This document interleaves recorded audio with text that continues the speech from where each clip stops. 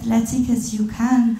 You you just have to trust your own language and and trust yourself and and hope that you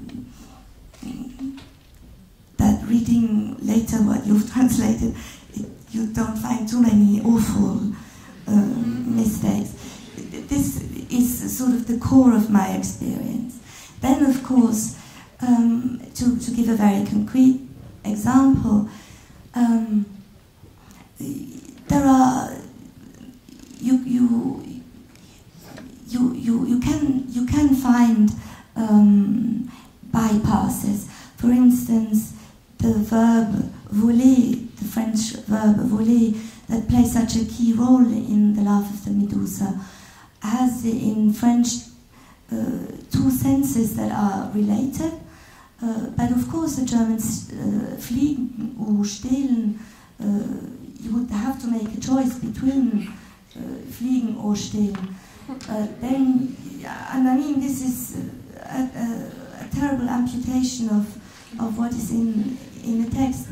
But if the editor is uh, helpful and the, the, the, um, the editors are helpful and the editor, uh, yes, if everybody is helpful, then you, you are allowed to, for instance, use fliegen und stehlen to, to try which, which is, it doesn't, das ist überhaupt nicht selbstverständlich natürlich. So this kind of text asks for those kinds of people to allow these, wie eine, List oder ein bypasses. So this is what I thank you very much. So um, you find us all very grateful that we have, um, yeah, that we have uh, a publisher also understanding that sometimes um, the comata, etc., they they should not be in the in the order um, as they are supposed to be by grammar. So. Um, and this was, for example, to, to, to give another uh, example out of our work together in line with the, um, the production, pro production of the Medusa volume, this was something uh, which we editors, I think, um, were deeply um, learning from you as a translator because you insisted, which we heard is a, uh, an important word. Um, so you insisted, for example, to have um, have the comatose uh, in another order in the text, um, and we were uh, deeply impressed by this insistence and by that choice. So it was very important and a very important work for us um, to, learn. Yes, yes, we know. yes, we know. Yeah, that's right. Shall we open to the? What did you want to say? And did you want to say anything? Right, then we take questions from the audience. No.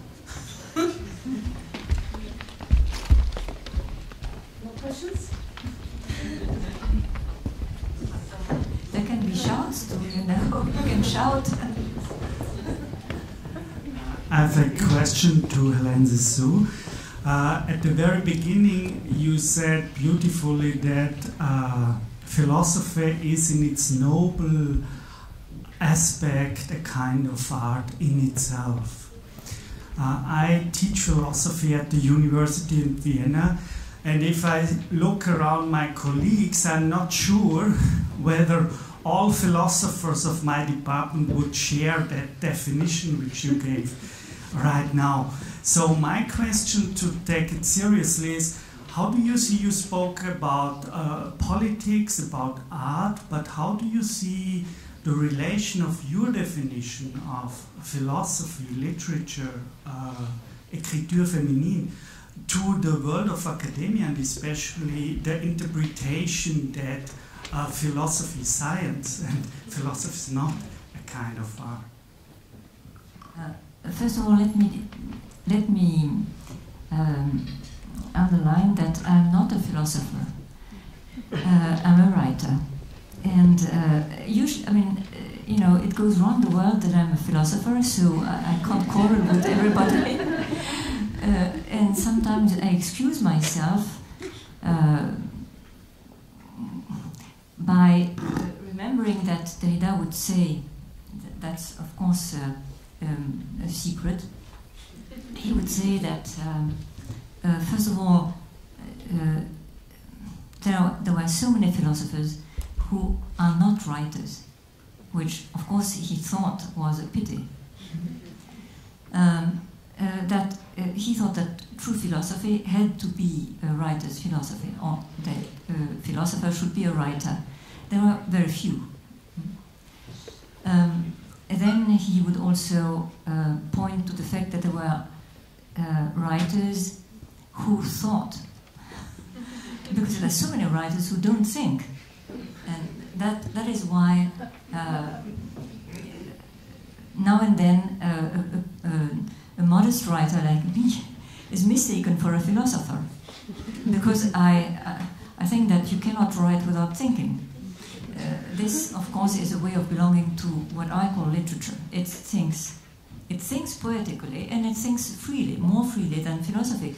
Philosophy has a, a um, an ideal, a function, a, a duty. It's it's supposed to somehow now and then try to demonstrate something, which I think is uh, is both um, a noble vocation and, of course, uh, a terrible um, obstacle uh, because you, you have to turn around all the time to check uh, and be sure that people follow you.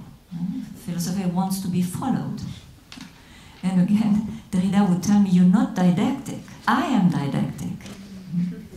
And it's true, he would, in his writing, he would uh, uh, inscribe variations on a leitmotif or on a theme that uh, had appeared inside his writing, and he would repeat it ten times so that he would be sure that he would be followed. Uh, a writer doesn't care about being followed. Uh, so, as regards academia, I, I share your question. I belong to the academia. Uh, I I used to think, uh, actually, I, I have always benefited by a privilege, which is that I myself founded the university where I've been teaching forever, which is Paris 8, the, the experimental university, where everybody taught, I mean, Deleuze, Foucault, except Derrida, uh, freely, uh, without uh, the injunctions of uh, academia. So you could go wrong, uh, you could uh, uh, dance in philosophy or joke, etc. Um, it's everything that is prohibited was allowed. And I, I would think uh, that was a long time ago. I thought if this university had not existed, with its craziness and uh, its also its uh, uh, chaos, I don't know whether I would have stayed. Uh, I am not sure I could have. I, I, I, don't even know whether I, I would have been allowed to uh, remain in a university. And I, I, I, remind you that when Derrida wanted to uh, enter the university, he couldn't. Uh, it was too late. He should have uh, uh, entered Paris 8 uh, which he didn't want to do. And when he later decided that he maybe would be more comfortable in university, he was uh, rejected. Um, simply because uh, what he has uh, brought to philosophy is uh, uh, a permanent earthquake, which the institution doesn't like. so uh, I think that, uh, and I'm sure, uh, uh, I'm sure that if you're here, it's because you're, you're able to uh, participate in earth shaking. And this, of course, you, you, you can operate by means of poetical language. The, the, the, great philosophers have always been poetics, poetical. Not sure I answer what you uh, what you're looking for, but. Uh,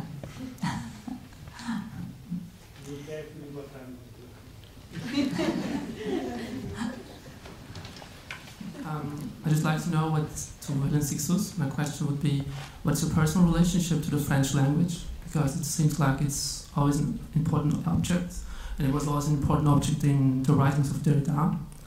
My second question would be, uh, do you think that um, like the theory of difference, if this theory is just so radical that it goes even beyond feminism? Because I think like for me it's just almost um, um, not very easy to understand what to explain to explain the theory uh, the, uh, the theory of difference.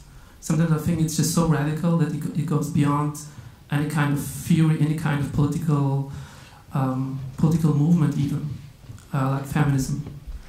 And maybe the third question, but you already responded. Okay, sorry. sorry.